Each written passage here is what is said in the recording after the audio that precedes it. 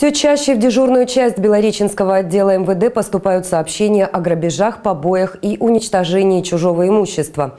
Как раскрываются преступления, расскажем в нашей постоянной рубрике по оперативным сводкам.